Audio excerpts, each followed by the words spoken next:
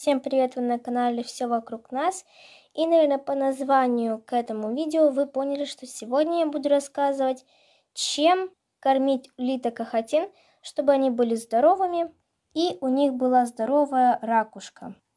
Этим вопросом задаются многие люди, которые хотят только завести улиток ахатин, потому что улиткам ахатинам не все можно, и они не все любят кушать, Поэтому в этом видеоролике я вам расскажу, что им можно давать из еды и чем нужно сыпать, какими витаминами, чтобы у них росла ракушка. Из овощей улитка махатина можно. Огурец, только не в больших дозах, потому что если вы постоянно будете давать огурец своей улитке, она будет отказываться от всей еды, которую вы будете ей давать кабачок, помидор, цукини, морковь, капусту, батат, брокколи и так далее. Из овощей можно в небольших количествах. Баклажан молодой, не зеленый, не перезревший, артишок, брюкву и так далее, то, что вы видите на картинке. Овощи, которые нельзя давать улиткам. Редис, репа, лук, чеснок, острый перец, картофель, редька и так далее. Фрукты, ягоды, которые можно давать, яблоко, груша, абрикос, персик, черешня, малина, клубника, виноград, арбуз и так далее. Фрукты, ягоды, которые можно давать в небольших количествах, киви, слива, хурма, мандарин, фейхуа. Фрукты, ягоды, которые нельзя улиткам – лимон, апельсин, гранат, грейпфрут, голубика, крыжовник и все остальное, то, что вы видите на картинке. Травы и зелень, которые можно давать улиткам, спаржа, базилик, рукола, укроп, салат, шпинат и так далее. Травы и зелень, которые можно в небольших количествах, сельдерей, мята лесная, другие пряные травы, травы и зелень, которые нельзя давать улиткам, иван-чай, мелиса, хрен, ревень и так далее. Листья, которые можно давать улиткам, березы, дуба, желательно сухие, клена, липы, осени, рябины и остальное. Листья, которые нельзя давать улиткам – листья ореха, тополи, липы, облепихи, айвы, рябины, калины, крыжовника и остальное. Другое можно давать лишайник, мох, ягель, сухофрукты домашние, соки свежевыжатые, любые съедобные грибы, сырые и сушеные. Другое можно в небольших количествах, пюре из овощей или фруктов без соли и сахара. Другое. Нельзя улиткам давать.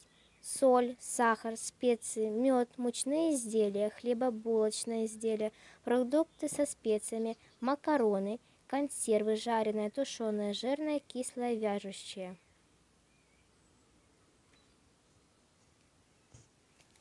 Но это еще не все. В еду обязательно нужно добавлять кальций смеси.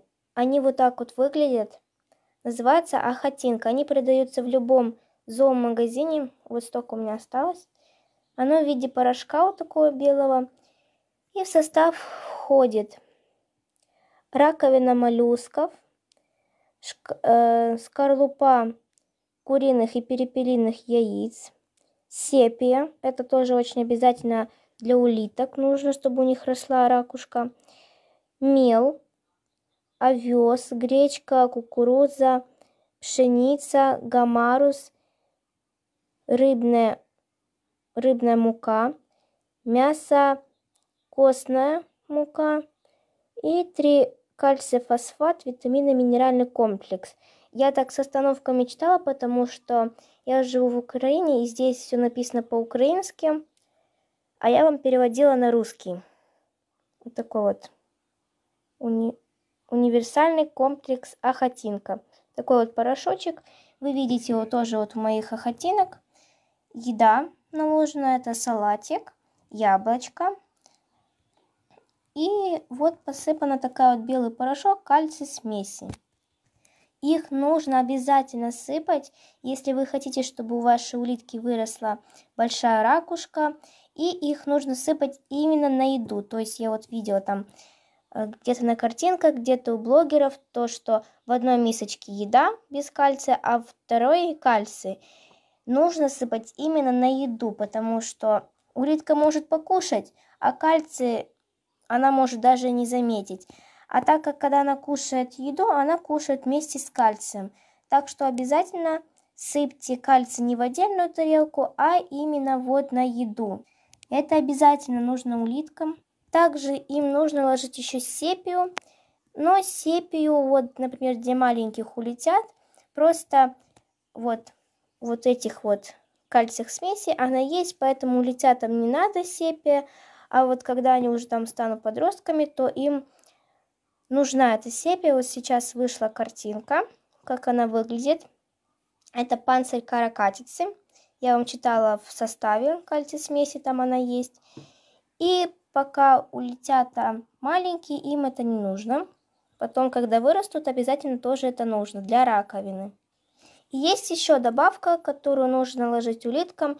Это вот такие вот маленькие креветочки. Называется гамарус. У меня вот в такой вот баночке я пересыпала.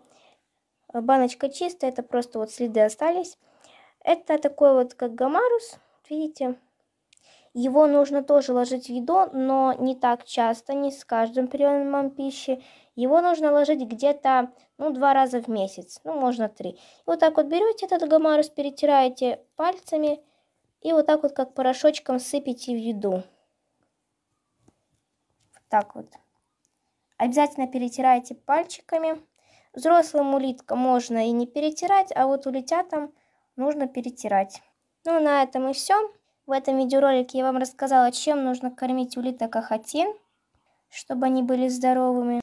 Если вам эта информация была полезна, пишите в комментариях. Также ставьте лайки, подписывайтесь на мой канал, потому что на этом канале будет очень много полезной информации про улиток и вообще про всяких животных. Спасибо за просмотр, всем пока!